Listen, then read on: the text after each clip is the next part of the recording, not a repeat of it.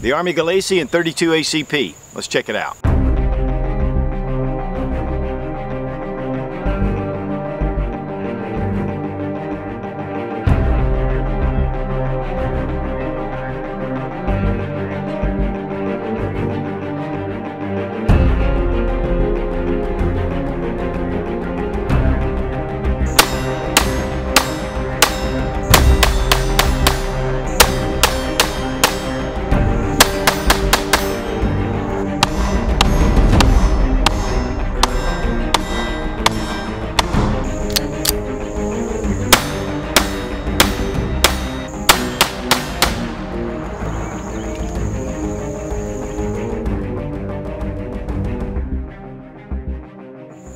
Know, with all vintage guns, or used guns for that matter, you don't know really what to expect.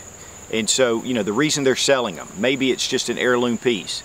Uh, maybe the quality is not there. But I'll tell you what, the little Armi Galesi 32 ACP, sweet little shooting gun, a lot of fun at the range, low recoil, and it just is a beautiful Italian design. The Armi Galesi 32 ACP, or 7.65 caliber. Uh, these were produced in Italy uh, around the turn of the century. In fact, they started producing firearms around 1910. And this is actually based very similar to the Browning 1910. One of the biggest differences is that it doesn't have a grip safety. Uh, and a couple of other features internally, but these were really closely related. And of course, the Browning 1910 was a very popular handgun. But this little Italian company made a number of different pistols all the way up until 1970. Uh, and then it was bought out by his son, and it went by the name Rigarmi, R I G A R M I. Uh, and they produced pistols up until the 90s. Uh, one of the big reasons why these pistols ceased to be imported into the U.S. was because of the 1968 Gun Control Act, which limited the size of pistols and actually anything under a certain dimension was restricted for coming into the United States. So it's one of the reasons why that uh, Armi Galesi went out of business and because its primary market was the U.S. Now I just recently did a review and a lot of these are going to be common uh, with the same features that came with this little 25 ACP by Armi Galesi. Um, you know, and I did a review. I'll have a link right here for you to look at or down in the description below. Uh, but this is one of the 25 or the 6.35 caliber. And uh, these are great little shooting guns. In fact, I really enjoyed shooting this pistol. I mean, it was just a breeze and it just fed ammo like crazy. Uh, and fairly accurate for the sights that it had on there. But these are all steel frame pistols and you know even though at the time they were fairly inexpensive uh, by today's standards these would be fairly expensive to reproduce. So we want to safety check the pistol, but when we do, I want to talk a little bit about this magazine release, and of course, it's the heel style, which is was very prominent in Europe. Uh, we have a an eight-round steel magazine with a little finger grip here, and it's funny because it definitely is a different color than the grips themselves. And we'll go ahead and safety check to make sure the gun is unloaded. This is a striker fire design, and we're going to look at that when we break it down. Uh, but it does have a fixed barrel design, which makes it fairly accurate. Uh, a lot like the Walther PPKs and a lot of other blowback actions uh, that are very similar to this.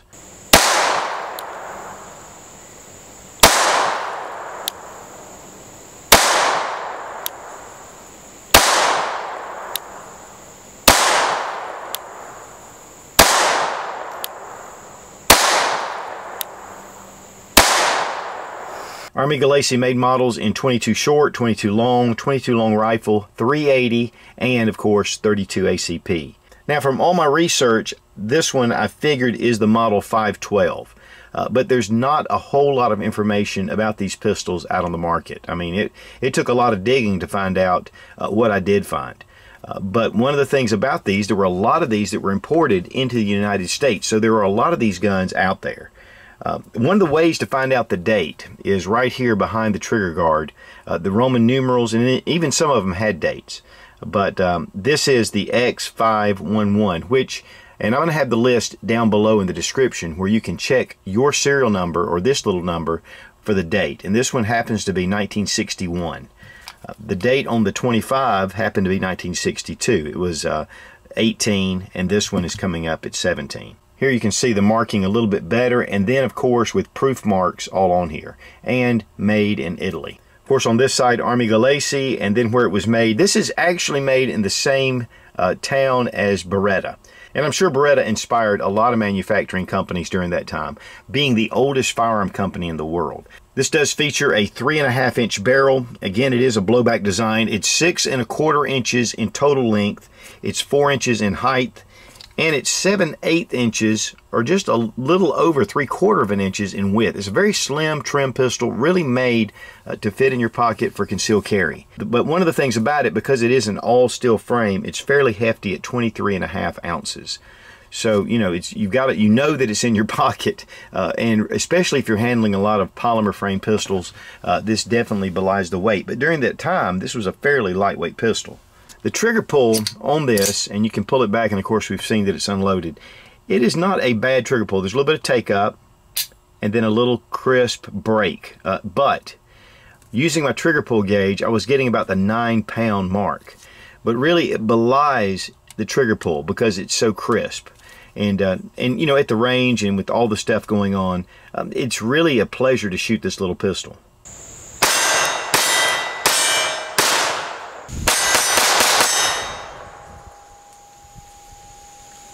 Really smooth shooting little pistol. Uh, the 380 ACP was very little recoil.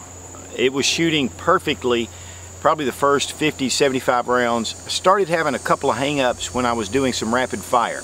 Uh, and so, you know, that's just uh, part of it. And I think, uh, I don't think it really had to do with the ammunition. It seemed like it was doing fine. So, um, and after that, I didn't have any shots after that that were, you know, any kind of malfunction.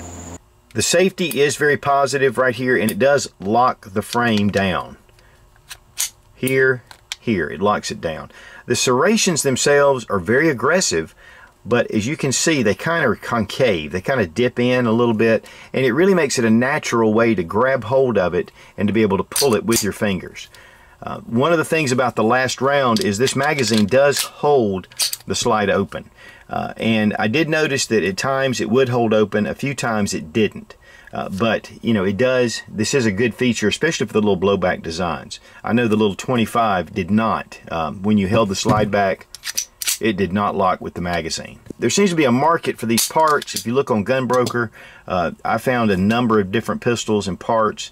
Uh, and, you know, it's just according to when you look because these pistols are not extremely expensive. Uh, in fact, because there's just not really a lot of collector value for these. I guess because there were so many that came into the country. Uh, in fact, as I stated on my earlier video, my buddy found this in a house that he bought uh, just packed away. And so, um, you know, he just handed it to me and said, hey, let's check it out. And that's really what started it with this one. So I got on Gunbroker, found this one, and uh, purchased it because, you know, I was really intrigued by the 25. Um, you know, a lot of them will, and of course here you have a, a crack right here in the grips, uh, but the grip still seems to be fairly intact and the nice white uh, it's not really an ivory color it's more of a, a, difference between mother of pearl and ivory just a nice white plastic type grip. It has more of just a trough but it does have a V here and at the tip it does have a post. And if you really get a good look at it and really you're shooting this up close this is a self-defense pistol but uh, you know I got pretty decent accuracy with this pistol. Uh, it was shooting a little bit low but it definitely was getting them in there in one spot and when it comes to 32 ACP, for a long time it was a self-defense round used for a number of years. Uh, this is fallen out of favor. There are some companies, Keltec makes a 32 ACP, Beretta makes one. Uh, but most people are going to the 380 ACP right here. And then of course your 9 millimeter. Then we go down the list to the 25 ACP and then the 22. Uh, one of the advantages the 25 has over the 22 is it's a centerfire caliber and it's a little more reliable than your 22 just because of that. But really not a great self-defense round even though people still use it. Uh, maybe they inherited it, maybe that's all they have, uh, but that is one thing to consider. And of course the 32. But really I would stick more with 380 or 9 millimeter for a really effective self-defense round. Now disassembly of the pistol is actually pretty simple, but it is a lot different than anything I've ever encountered, which to be honest with you is pretty intuitive. Uh, first thing you do is make sure the gun is unloaded. And of course we've removed the magazine. You want to go ahead and bring the slide back to where the pivot point on your safety. And once you get there, just turn your safety all the way to the rear and it snaps out the cover that holds in your striker. and then it goes forward. You bring it up a little bit and then lift it and pull it right out. Here we have the recoil spring. Of course, the fixed barrel design right here, and it, and it does help with accuracy. Uh, this one has been obviously shot a number of times uh, just from the, uh, the wear on the barrel. Here you can see the feeding ramp is almost just one continuous motion right here. And then, of course, we have this little area right here that retains your striker. And uh, this, I'm sure that you can punch the uh, safety out, and then this will pull out, but we're not going to get into all that. But you can see that it's a very simple design. There's no slide rails or anything. The barrel retains this into position, and then with this piece holding into the back. Now here's the striker, and it has a little notch that fits right here into this little groove. It's just one way that it goes. Now the trickiest part of reassembly is getting that barrel through the slide in the correct position and making sure that this is pulled out. Once the barrel flows in just like so, then you just bring down your slide like so, like that. Hold that into place. Bring your slide back to where you can pivot around your safety and then you're back in business and you're ready to go. To be honest, I was really impressed with this pistol. I mean, the, the finish is kind of worn. I mean, it's definitely seen better days. And uh, again, it doesn't have a really high collector value. This may be something actually that I may have refinished, and then again, maybe not. I just like the vintage pistols. Uh, I do a lot with polymer frame and all the high-tech stuff, and it's really nice to get back to the classic old world designs. I mean, eight rounds, you're having to change your magazines pretty regularly, and that really saves you on ammunition. Uh, but it also just kind of brings things, slows it down a little bit. And, you know, as far as collectability, uh, you know, these are not necessarily sought after by really high collectors, but a lot of gun enthusiasts like to build their collections on, you know, some of the smaller pistols and mouse guns and things like that. I'm one of those guys. I, I really enjoy uh, buying up these little pistols and uh, just shooting them every once in a while, and they're just a lot of fun.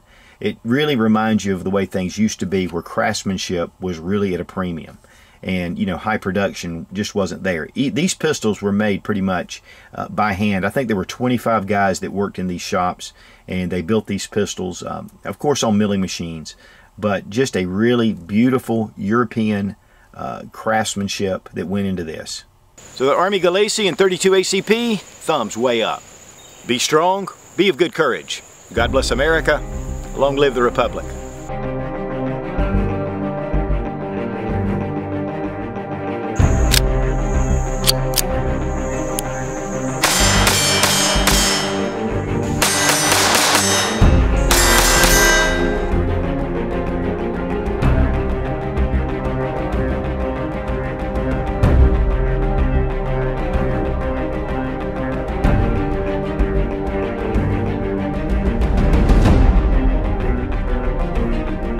Just don't really know what to expect. You don't know what to expect when you're picking up. Okay. Uh, one of the big differences is there is no um, the Armi Galesi in 30 the Armi Galesi in 7.62 and so you know I'm sure those were those were uh, this is from what now from all the things that I figured oops, here is the striker so let's do it again.